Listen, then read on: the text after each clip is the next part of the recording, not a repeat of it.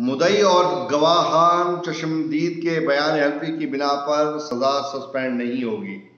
2014 Pakistan criminal law general सात सौ छत्तीस।